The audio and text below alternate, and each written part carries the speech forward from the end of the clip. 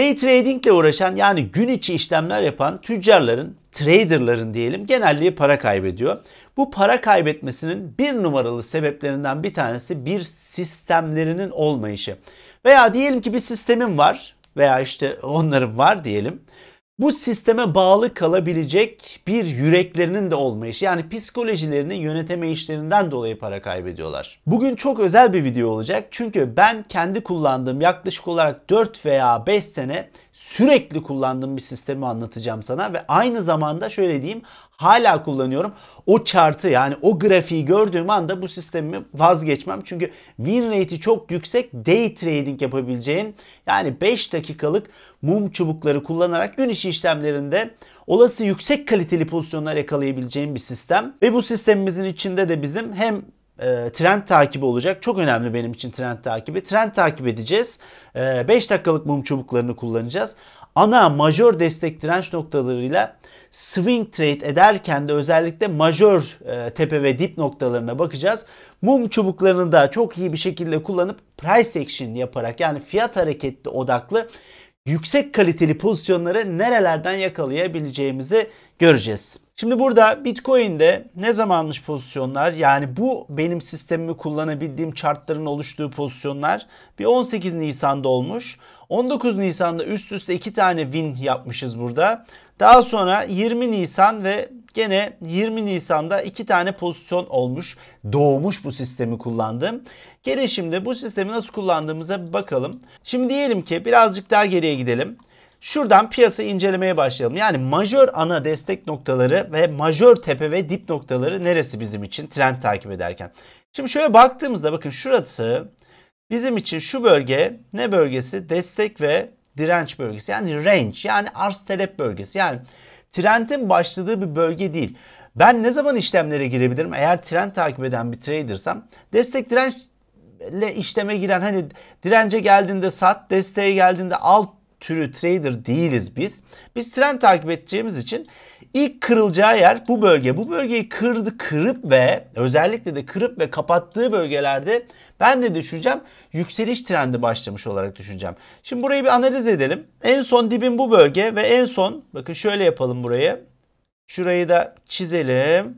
Şöyle. Burası benim ne bölgem? Direnç bölgem. Fiyat burayı kırması lazım ki ben işleme gireyim. Bakın şöyle alıyorum. Geldim. Dip noktam İlk dalganın başladığı ve ilk kırıldığı nokta bu bölgenin. Bakın kapanış bu bölgede. Bu bölge benim ilk bölgem oluyor. Bakın şurası. Biraz daha büyüteyim. İlk tepe noktam. Daha sonra dibim. ikinci dibim. Daha sonra tepe noktam bir sonraki swing dalganın bittiği majör yani ana tepe noktam. Daha sonra yine yükseliş devam etmeye başlıyor. Bakın yükseliş başladı. Bir sonraki dip noktam bu bölge. Ve daha sonra buraya tekrar test ediyor. Yani yataya da bağlamış olabilir piyasa. Devam da ediyor olabilir. Devam ediyorum şimdi bu bölgeden. Daha sonra ne yapıyor piyasa buradan? Tekrar çizmeye devam edelim. Bu bölgeden ne yapıyor? Tekrar ne yapması lazım? Yüksek ihtimalle şu tepeyi kırması gerekiyor. Veya burayı kırarsa ne diye düşüneceğim ben? En son dibimi kırıp ve kapattığı zaman belki trend değişiyordur ve düşüş trendi başlıyordur diye düşüneceğim. Ama şu anda bir sonraki dalga nerede kapatıyor? Bakın bu mesela diyelim ki şu bölge en son tepemi geçemedi diyor. En son dalganın bittiği nokta bu bölge oluyor ve şöyle yapalım. En son tepe, dip ve majör tepe bir sonra burada en son dip burada ve piyasa devam ediyor. Bakın tekrar ana majör ve dip dip ve tepe noktalarını çiziyorum ben sana. Tekrar tepe, tekrar dip, tekrar kapattı tepe, tekrar dip, tekrar kapattı tepe. Burayı kırmaması lazım. Burayı kırarsa pozisyon değişebilir. Onun için ben ne yapıyorum? Tekrar bakıyorum piyasaya. Bakın burada gene nerede ne, piyasa şu anda nerede dolaşıyor? Piyasa bizim burada destek ve direnç bölgemizde dolaşıyor. Tekrar orayı da bir çizelim hemen. Bakın şu bölge şöyle ve Üstte de en son tepe noktam bu bölge. Ne yapması lazım? Normal şartlar altında piyasanın bunu yukarısına kırması lazım ki ve yeni en yüksek ana bir tepe noktası yapması lazım benim için. Şu anda piyasa bu bölgeden şu ana kadar hala benim için yükseliş piyasasında. Yani bütün gireceğim işlemlerde yükselişi düşünmem lazım. Yani alıcı olmam lazım Bitcoin'de. nerede 15 dakikada ama daha strateji kısmımıza geldiğimizde daha alt time frame ineceğiz. 5 dakika ineceğiz. Şimdi devam ediyorum ben çizmeye. Bakın bunlar çok önemli ana destek ve ana tepe ve dip noktaları swing trade edeceksek ve özellikle de day trading'de. Tekrar bu bölgeye geliyorum. Bakalım kapanış sergiliyor mu? Bakın burada artık trend benim için değişmiştir. Bakın burası tepeydi. Dip noktam geçemiyor. Geliyor geliyor bekliyorum ve en sonunda bakın şu bölgede ne yapıyor piyasa? Yeni bir en düşük yapıyor. Ben ne düşünebilirim artık bu bölgeden sonra? Bu piyasa trend değişmiş olabilir. Yeni bir ABC formasyonu. Bugün formasyon görmeyeceğiz ama yani formasyona gerek yok. Yani yeni bir ABC formasyonu başlayıp trend reversal yani geri dönüş noktası olabilir bu nokta ve aşağı yönlü trend değişebilir. Neden diyorum bunu? Bakın burası şu en son dibime ne yapıyor? Yukarıya kıramayıp yani buralarda kapanış gösteremeyip daha sonra geliyor ve bu dibin altında kapanış gösteriyor. Bakalım evet yani yani yüksek ihtimalle trend değişiyor olabilir. Ama biraz daha kapanış görsek daha iyi olabilirdi. Tekrar bakıyorum. Burada bakın burada ne olmuş oldu? Gene buradan döndü ama yani benim için aslına bakarsan trend değişmiştir. Çünkü piyasa artık zaten destek direnç arasında gezmeye başladı. Yani normal şartlar altında buradaki pozisyondan sonra tekrar bir alım düşünmem ben. Çünkü zaten piyasa bu bölgede range bölgesinde. Ben şimdi ne bekleyeceğim? Alım için bu bölgeyi yukarı kırarsa tekrar piyasa benim için tekrar alıcı olmaya başlayacak. Bakın burada tekrar bu bölgeyi ne yapıyor? Şu ana destek direnç noktamı kırdıktan sonra tekrar yeni en yüksek yapıyor. Majör yani ana en yüksek. Tekrar yeni en yüksek yapıyor bu bölgede. Bak kapanışı bir öncekinin üstünde tekrar düşük yapıyor. Tekrar devam edelim. Daha sonra ne yapıyor? Bakın burada artık piyasa bu bölgede ne yapması lazım? Normal şartlar altında tekrar yeni en yüksek yapıp trend yönünde devam etmesi lazım. Ama ne yapıyor? En son dip noktamı şöyle yapalım. En son dip noktamı fiyat burada aşağı yönlü kırıyor. Ben burada ne düşüneceğim artık? Bu şöyle kırıldıktan sonra hangisindeyiz biz? 15 dakikada. Ben ne yapacağım? Unutmayın bir üst time frame'de bakın burada piyasanın yapısına bakıyorum. Bir alt time frame'e girip artık 5 dakikada olası şu bölgelerden sonra bu bölgelerde kendime satış fırsatları aramam lazım. Şimdi devam edelim ana yapıyı görmeye. Daha sonra geçeceğiz trade'lere. Bakın ana yapı çok önemli. Ana yapı bir üst time frame'de ana yapıyı ana yapıyı gör dilim dolandı. Ana yapıyı görmek görmemiz lazım. Şimdi ne yapıyor piyasa? En son dibim ne yaptı? En son dibimi kırdı. Tekrar yeni en düşükler yapmaya başlıyor. Majör düşükler yani ana düşükler. Bir tanesi burası. Düştü düştü düştü. Bir tanesi burası. Ve devam ediyor bakalım bakalım. Normalde ne yapması lazım piyasanın? En son tepem neresiydi? Burası. Burayı geçmesen, şu tepemi geçmeden aşağı yönlü kırılması lazım. Bakalım çünkü piyasanın yapısı aşağı yönlü artık. Tekrar şöyle bakıyoruz. Bakın geldi geldi geldi. Burası artık range bölgesinde. Zaten en yüksek ve en düşüğün burada yaptı. Bakın şöyle. Şöyle normalde buradan aşağı doğru piyasanın yuvarlanması lazım. Şurada bir e, yine bir arz talep bölgesinde geziyormuş gibi oluyor ama piyasa ne yapıyor? Bundan sonra bak şurada tekrar şöyle göstereyim şunu. Tekrar ne yapıyor? En son dip noktamı kırıyor. Yani yeni bir majör ana düşük yapmaya başlıyor. Ben ne yapacağım artık? Bundan sonra gene piyasa yukarı çıktığında buralarda gezdiğinde vesaire benim stratejime bağlı gene kısa pozisyonlar girmem lazım. Bak ne yaptı tekrar? Piyasanın bu şekilde ana deste ana e, swing yani ana tepe ve ana dip noktalarını mutlaka görmeniz lazım. Bakın şimdi bir tanesi burası. Bir tanesi daha sonra bu bölge. Bundan sonra ne yapıyor? Burayı ne yapması lazım? Aşağı yönlü kırıp kapatması lazım. Nerede kapatıyor? Bak geldi geldi geldi. Bu bölgede kırdı kapattı. Daha sonra ne yapması lazım? Şu tepemi benim geçmemesi lazım. Yani piyasa buradan aşağı hala ne yapabilir en kötü ihtimal, en iyi ihtimalle? Böyle gelir gelir gelir sonra gene aşağı yuvarlanması gerekiyor. Çünkü trend ne yönde? Artık aşağı yönde. Ana trend bütün piyasalarda aynı şekilde analiz yapmamız lazım. Bakın şimdi değiştiriyorum piyasayı. Ne yapalım? Diyelim ki altın yapmayalım hep altın yapıyoruz. BIST yani kendi hisse senetleri piyasamızda bir alım satıma gireceğiz ve Viop'tayız ve gün içi trade ediyoruz. Bakın şimdi baktığımızda 15 dakikada şimdi bakın hiçbir şey fark etmiyor. Şurada ne görünüyor bizim için? Dip noktamız bakın burada başlıyor. Şöyle yapayım. Burada başlıyor tepe, dip, tepe, dip, tepe, dip, tepe geliyor. Şu dibi kırmaması lazım. Bakın burada bu dibi kırdıktan sonra benim için BIST 100 bitmiştir. Ya short diyebileceksem short diyeceğim.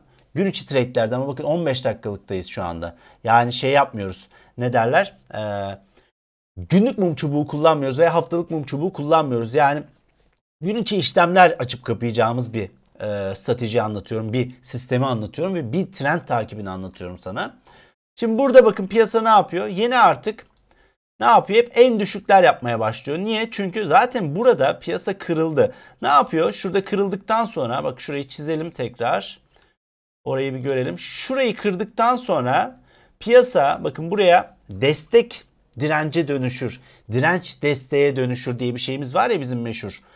Ki çok da güzel çalışır. Hani diyelim ki e, bizim en son e, tepemizi yani en ana tepemizi kırdıktan sonra fiyat buraya gelirse burası bizim direnç noktası destek olarak çalışıyordu. Tam bunun tersine de en son dip noktamızı yani destek noktamızı fiyat kırarsa yükselişte ne olurdu? Burası destek dirence dönüşüp de çalıştığı bölgeler diye düşünüyorduk. Bakın burada en son neydi benim? Burası dip noktamdı. Burayı kırdıktan sonra ne yapmış? Tekrar fiyat bu bölgeye geldiğinde burası bak o kadar güzel çalışmış ki hatta iki defa aşağı yönlü çalışmış. Tekrar ben gösteriyorum. Ya piyasayı bu kadar net yapısını e, öğrenebildikten sonra gerisi çok basit. Yani e, karlı da pozisyonlarınız olacak, zararlı da. Karlarınızda daha çok oturacaksınız. Zararlarınızda çabuk kaçmayı öğrendikten sonra zaten piyasada istikrarlı bir şekilde kumbaranı dolduruyor kumbaranı dolduruyor olacaksın yani. Şimdi tekrar bakalım ben buradan. Devam ediyorum piyasa yapısını incelemeye. Bak şimdi burada kırdı. Daha sonra ne yapıyor? Yeni en düşüğü yaptı. Yeni en majör tepem burası. Daha sonra ne yapması lazım? Yüksek ihtimalle şurayı, şu bölgeyi, şu en son dibimi kırması gerekiyor. Bak burada en son dibimi kırdı buraya kadar. Daha sonra ne yaptı? Tekrar tepe yaptı. Normalde ne yapması lazım? Gene benim burayı, şu dip noktamı en son majör e, dibimi kırması gerekiyor şu bölgeyi. Ne yapıyor? Tekrar aşağı yönlü kırıyor ve piyasa yapısı buradan aşağı yük, e, düşmeye devam ediyor. Bunu şöyle de yapabiliriz hatta. Burada kırıyor. Şöyle diyelim. Nerede? Şurayı kırdı. Şöyle geldi. Böyle kırdı. Böyle aşağı yönlü devam ediyor. Yani daha ince ayrıntılı bakarsak ama trend ne yönde? Benim için bakın hep aynı şekilde devam ediyor. Bak şimdi burada göstereyim. Bu, bu tarafta baktığımızda diyelim ki bir ana trendimiz ne yönde? Bakın burada yine BIST yüzde tepe dip noktam ne yapıyor? Şu tepeyi geçtikten sonra normalde ne yapması lazım? Buralardan bir yerden bu trendin yukarı yönlü şu tepeyi geçmesi lazım. Bak ama buraya geldiğinde kapanışı benim en yükseğimin üstünde kapatmıyor. Daha sonra tekrar aşağı yuvarlanıyor. Bak buralarda gezmeye başlıyor. Böyle geziyor ama majör yani ana destek ve direnç tepemi eğer ki trend takip edeceksem nereleri kırması lazım? Bir tane burası bir diğeri burası. En son nerede kırıyor bu ikisi? Ben benim trade edebilmem için ya buranın yukarı kırılması lazım ki alıma gireyim ya buranın aşağı kırılması lazım satıma gireyim. Bakın burayı kırdıktan sonra gene destek direnci dönüşüyor. Kırıyor. Tak burada geldim aşağı vuruyorlar gene. Yani profesyonel traderlar. Biz de ben de neden buradayım? Seni birazcık bizim içimize dahil etmek için profesyonel bir bakış açısı e, kazandırmaya çalışıyorum. Bu kadar da artist olunmaz ya. Neyse şöyle bir şey. O kadar olalım canım. Ne oldu tekrar? Hemen işimize geri dönelim biz. Burada tekrar ben alıyorum. Buradan geldi kırdı. Tekrar geldi kırdı. Tekrar ana ne yapması lazım? Bu bölgeyi aşağı yönlü kırması gerekiyor. Bakalım tekrar kırdı. Piyasa olası trend yönünde çok güzel bir şekilde devam ediyor. Tekrar ne yapması lazım şimdi? Şu tepeyi yukarı kırarsa benim için piyasa değişebilir. Yani şöyle olursa ben bu sefer ne diyeceğim? Bu böyle gene e, geri dön reversal noktası olup da trend değişebilir. Şunu da unutmayalım. Hiçbir trend devamlı devamlı gidemez. Mutlaka geri dönecektir. Hani hiçbir zaman hayal kurma. Yani aldığım bir senet vardır işte altın vardır devamlı yükseleceğini düşünme. Mümkün değil. Yani derler ya hiçbir ağaç cennete kadar uzamaz. O için bak buraya şu tepeyi kırarsa benim için neydi? Trend değişecekti ama gene aralarda küçük dalgalar yaptı. Bunlar küçük trendler. Daha sonra bu bölgemi kıramadan tekrar en son majör ana dip noktamı kırıp aşağı trend yönüne devam ediyor. Bunu birazcık çok uzattım. Çünkü bizim işin e, en önemli kısımlarından bir tanesi trend takip etmek ve düzgün e, destek ve direnç noktalarını düzgün tepe ve dipleri görebilmek. Onun için birazcık uzattım. Şimdi e, bizim sistemimize gelelim. Yani 5 dakikalık mum çubuklarını ineceğiz ve bu noktalarda nasıl trade edebileceğimizi göreceğiz. Şimdi diyelim ki bizim şunları siliyorum destek direnç noktalarına şöyle. Nasıl yapmıştık? Hemen tekrar gösteriyorum. Tepe en son noktam burası. Fiyat buradan aşağı en dip yaptım. Bakın bu şu dibi geçmedi. Majör çünkü nasıldı? Majör noktam benim. Şurası tepe, dip, yeni en yüksek yaptı. Buralarda bir yerde dip yapıp yeni en yüksek yapması gerekir değil mi? Normalde trend yukarı yönlüyken burada çünkü trend nerede? Yukarı yönlü. Şimdi tekrar bakıyorum ama fiyat ne yapıyor burada? Tepe, dip çıkamadan en son şu bölge ne yapıyor? Bu en son tepe burasını yaptı. Majör tepe noktam ve majör dip noktam burası. Bakın şimdi piyasa ne yapmış oldu? Yeni bir en düşük yapmış oldu. Ben o zaman ne diyeceğim? Bakın burada trend değişiyor olarak görmem lazım. Ne yapmam lazım? Olası piyasa yeni bir e, bana fırsat tanıdığında ya buradaki pozisyonlar gibi işlem yakalamam lazım. Neredeyim ben? Hala 15 dakikada. Bakın geliyor tekrar burada tepe yaptı. Dip yaptı bu bölgede. Şu bölgede yeni bir dip yapıyor. Ve tekrar tepe yapıyor. Ha şimdi diyeceksiniz ki burada işleme niye girdin diye. Burada başka bir sistem kullanarak girdim. Çünkü burası çok fazla bir e, direnç bölgesiydi ve burada satımı düşündüm. Tam benim size anlatacağım sistem değil burası ama gene de bunu da göstereyim neden girdiğimi. Burası bakın burası 1, 2, 3, 4, 5, 6 Şöyle biraz daha büyüteyim. 1, 2 hatta şunlar da var. 3, 4, 5, 6, 7. Daha sonra e, kırılmış destek olmuş. Daha sonra tekrar 8, 9. Burası bu bölge. 10 aşağılar. Daha sonra burası bakın burası da tehlikeli. Ben burada ne düşündüm? Zaten trend de aşağı yönlü, ana yapım aşağı yönlü bozulduğu için fiyat buraya geldiğinde olası bana şöyle çekeyim ben. Olası bana buralardan girilecek bir yer verirse pozisyona gireyim dedim. Ve ne yaptım? Fiyat da oralara çıktı ve bana bir fırsat tanıdı. Ben de şimdi sistemi buradan tekrar 5 dakika inip nasıl trade'e girdiğimi göstereceğim orada. Ama şöyle de bir şey diyeyim. Ana bizim pozisyonumuza girdiğimiz noktalar şu bölgeler. Orayı da göstereceğim ama burayı da görmeniz lazım. Bakın şimdi geliyorum 5 dakikaya. Trade edebileceğim. Yani bir üst time frame 15 dakika yapıyı gördüm. Geliyorum 5 dakikaya. Şimdi fiyatın buraya gelmesini bekliyorum. Ne alınına? Bakın şurası şunu sileyim tekrar göstereceğim çünkü neden işleme girdiğimi. Fiyatın buraya bir çekilmesini bekliyorum ben. Ve Burada satıcıların gelmesini bekliyorum. Yani bir satıcılar gelsin, piyasa birazcık birbiriyle haşır neşir olsun. Yani alıcılarla satıcılar biraz boğuşsun. Ben tam satıcıların e, alıcıları ezdiği noktada işlemlere girmek istiyorum. Şimdi bakıyorum burada. Bu noktalarda benim için ikili dip ve ikili tepe çok kullanırım ve özellikle de mum çubukları. Yani bizim mum çubukları, benim mum çubukları videomu mutlaka seyret. Yani eğer ki sadece fiyat odaklı işlemlere girmek istiyorsan e, mum çubukları e, gizemi videolarım iki tane olması lazım. Onları izle. Özellikle yutan mum çubuğu, engulflar ve pin barlarım benim en çok işlemlere girdiğim mum çubuklar. Şimdi fiyat buraya geldiğinde ilk önce satıcılı bir yer kendime tanımlamam lazım ve o satıcılı yerin olası ihtimalle hiç geçilememesi gerekiyor benim için. Bakın şimdi burada fiyat ilk başta biraz daha büyüteyim şöyle iyice anlaşılsın şurada. Fiyat ilk satıcılı burası. Görüyor musun? Burada bir pin bar var. Ben bunu ayı pin bar diyorum. Yani sen işte e, ters çekiç vesaire e, diyebilirsin. Fark etmez. Akılda kalması için ben bunu e, ayı pin barı diye söylüyorum. Şimdi ilk satıcılı mumum bu. Ama daha sonra bu mumumu tekrar geçiyor ve yeni en yüksek yapıyor. Onun için bu mum benim için artık satıcılı bir mum değil. Bakın şimdi ikinci pin barım belirdi satıcılığı. Çok güzel bir mum çubuğu benim için. Çünkü piyasa bu yükseği kabul etmeyip fiyatı aşağı doğru gömmüşler. Yani ben ne diyorum? Burası bu mum çubuğu benim için önemli ama ben şöyle bir şey bekliyorum. Bu mum çubuğu acaba geçilecek mi geçilmeyecek mi?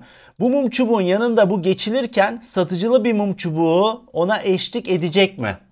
Bakın burası önemli. Bakın bu trade yani bu sistemi çok kullanırım ve e, çok kaliteli bir video olacak bence bu. Çünkü e, çok estantane anlattığım bir sistemdir. Bunu kaçırmamanızı öneririm.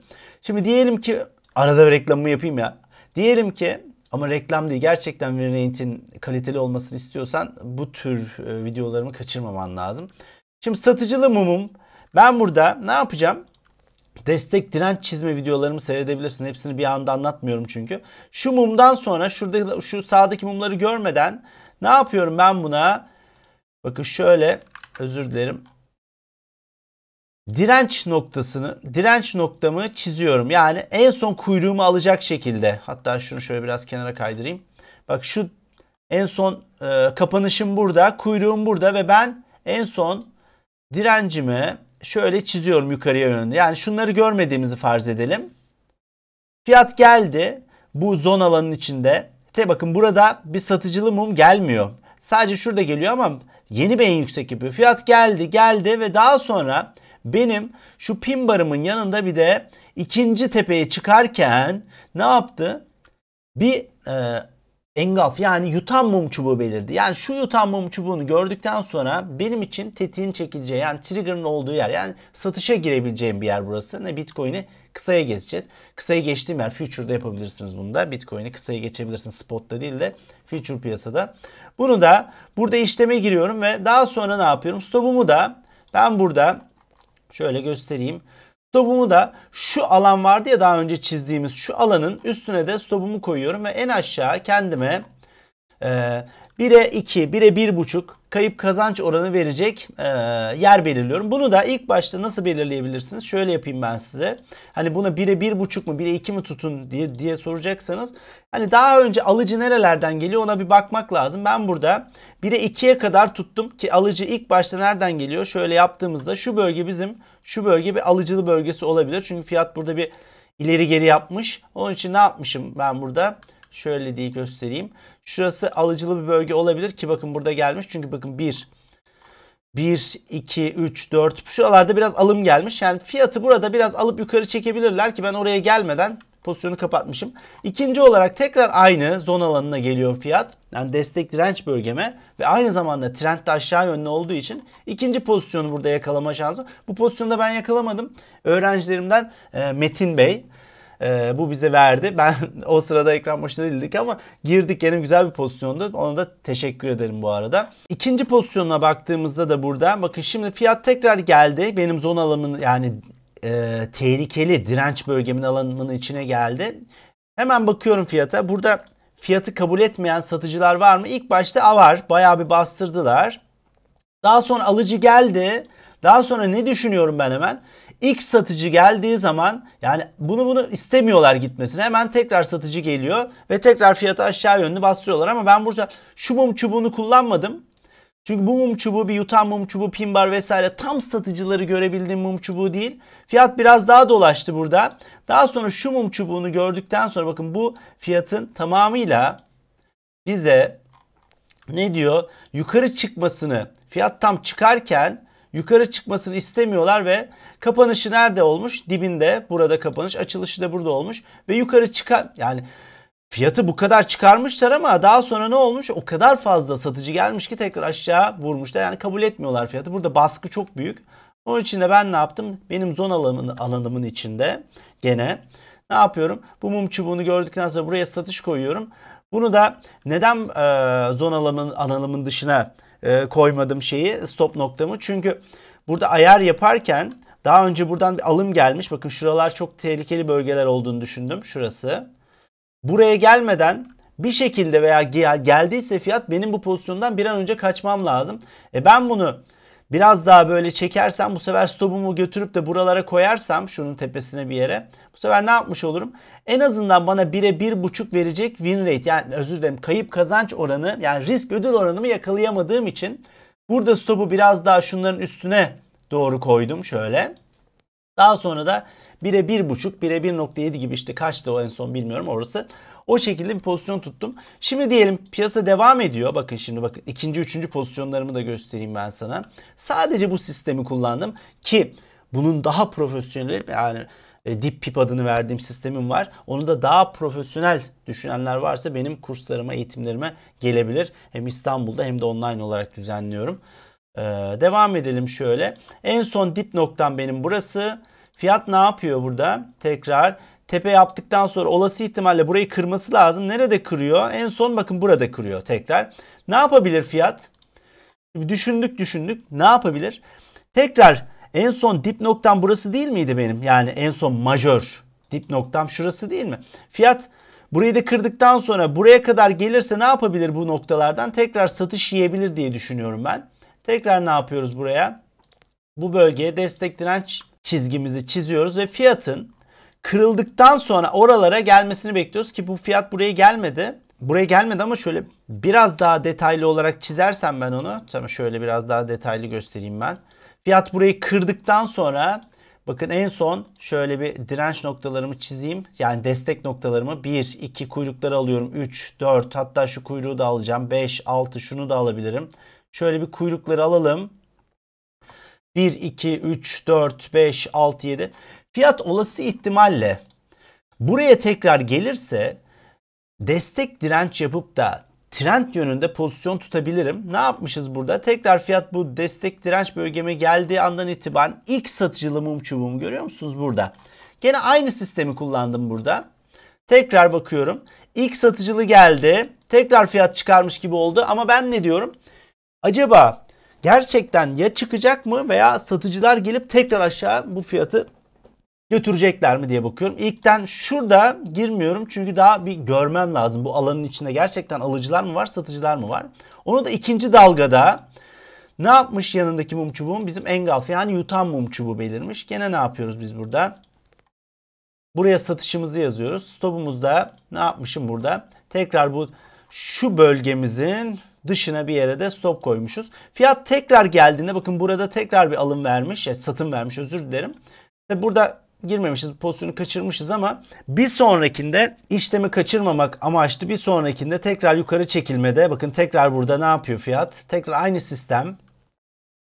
Tekrar geliyor. Satıcı burada aşağı doğru gidebilir ama tekrar alıcı geliyor ama bakın şurada bir ne yapıyor? Fiyatı tekrar yukarı götürmeyen bir ikili olgu yine yutan mum çubuğu var. Gene bu pozisyonu kaçırmamak için burada e, satışı yapıp şu mum çubuğundan sonra stopumuzda ne yapmışız burada? Bakın buradaki şöyle şey yaparsak çizersek şu bölgeleri. 1, 2, bir bakın şöyle. 1, 2, 3, 4 tane tepemizin yani direnç noktamızın majör değil ama bu minör yani küçük direnç noktalarımın üstüne stopumu koyup altına hemen daha pozisyon buralar tehlikeli olduğu için şu bölgeler tehlikeli olduğu için burada hemen girip pozisyonu kapatmışım. Yani bu fiyat buradan aşağıda vurulabilir ama yani ondan sonra da işleme girmemişiz. Tekrar bakalım şöyle. Ee, bu burayı kırdıktan sonra bakın tepe yaptı. Bakın analize devam ediyorum. Devamlı bu şekilde analiz etmeniz lazım. Ben bir sonraki pozisyonlarda işleme girmedim ama tabi giren olduysa aynı şekilde ee, devam ettirebilirdi trendi. Yani karlı pozisyonlar yani win rate'i kazanma oranı yüksek pozisyonlar bulabilirdi. Bakın en son dip tekrar tepe ne yapması lazım? Burayı kırması gerekiyor bu fiyat. Bakın burada kırıyor. Daha sonra ne yapıyor? Burası tepe. Gene bu bölgelerde bakın şimdi göstereceğim. Şu bölgeyi kırması lazım. Tekrar kırıyor. Tekrar e, şöyle yapalım. Normalde ne yapması lazım fiyatın? Şu dibi en son e, özür dilerim. Şu dibi en son majör tepe yaptıktan sonra yüksek ihtimalle tekrar aşağı yönlü devam etmesi lazım. Peki trendin değişeceğini nasıl anlarsınız? Olası ihtimalle burayı yukarı yönlü kırdığında tekrar trend değişecektir. Bakın şimdi tekrar geldi buraya. Burayı kırdıktan sonra fiyat buraya çıktığında bakın şimdi şunu sileyim. Yeni destek direnç bölgeme hatta silmeyeyim o da kalsın. İlk satıcılı mumum burada. Oo güzel. Yani satıcı gelmeye başlıyor. Bakın ilk mumda da girebilirsiniz ama stop mesafenizi ona göre ayarlamanız lazım. Ama ben biraz daha garanti bir trader'ım. İlk satıcılı mum çubuğum. Tamam. Alıcı gelmeye başladı. Yukarı çıktı ama daha sonra bakın şu mum çubuğu artık diyor ki bu alan benim için çalışıyor diyor. Yani bu gerçekten desteğe, dirence dönüşmüş ve olası kaliteli, güçlü bir direnç noktası. Ne yapabilirsiniz burada? Yine bizim sistemimize bağlı. Satış pozisyonu alıp buraya satışı yazabilirim. Stop'u nereye koyabilirim? Bu zonun üstüne birazcık şunu da alabilirim ben belki. Şöyle şu şu iki tepeyi alıp zon alanının dışına tutup bakalım burada e, şey yerimizi nereye kolay koyabiliriz? Yani burada bayağı bir alım geldiği için bence bu pozisyon hemen kapatılması gerekiyor. Yani 1'e 1.5 gibi alınıp burada e, bu pozisyonun kapatılması gerekiyor yani diye düşündüm ki yani bayağı da inmiş ondan sonra da inmeye de devam ediyor. Hatta bakalım inmeye de devam ediyor. Trend trend nasıldı? En son majör. Şimdi bunu 15 dakikaya geldiğinizde daha iyi göreceksiniz. Hani bir üst time frame'de. Buraya geldikten sonra çıkıyor tepe bu nokta tekrar kırıyor. Tekrar çıkıyor tepe tekrar kırıyor. Umarım videolarım sana faydalı oluyordur. Gerçekten söylüyorum 2000'li yıllarda bu bilgileri bulmak için neler neler yaptım. Ee, yardımcı olmak için sana çekiyorum. Umarım faydası oluyordur. Umarım trade'lerin iyi geçiyordur. Eğer trade'lerin de güzel geçiyorsa bir beğeniyi de hak ediyorum diye düşünüyorum. Bir sonraki videoda inşallah görüşmek üzere. Olasılık ve şans hep senden yana olsun. Alasma aldık. Bay bay.